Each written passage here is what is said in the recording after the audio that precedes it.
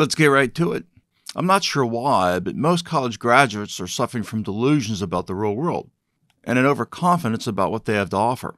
I call these delusions of grandeur in IT. Let's define delusions of grandeur so we're all on the same page. Delusions of grandeur refers to a false belief that they are someone other than who they truly are, typically someone more powerful or important. Specific to IT, it's the belief you have more skills than what you really have, and that you'll get hired just because you have these skills. Somewhere, there's a disconnection about what you know and what you need to know to do the most basic entry level IT role. I don't know why. Maybe there were too many participation trophies.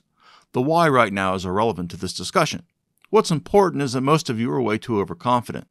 The real learning in any IT role doesn't start until you're on a job. Everything else you're doing right now is a toy problem.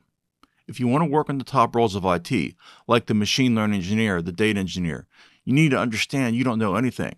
Actually, you know less than anything. These are two of the top roles on Earth and the smartest niche on Earth. And many of you believe you can take a few courses and walk right into one of these roles.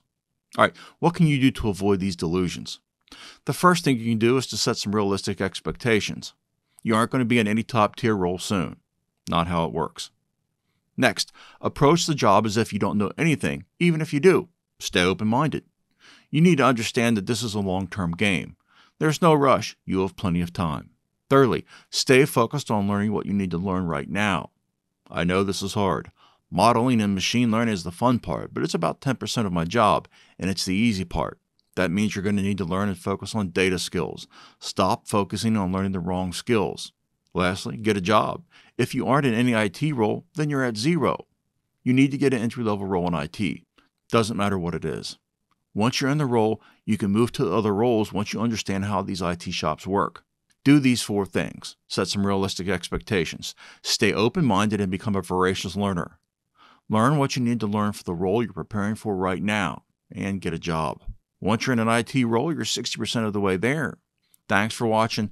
Don't forget to like and subscribe. And of course, have a great day. We'll see you soon.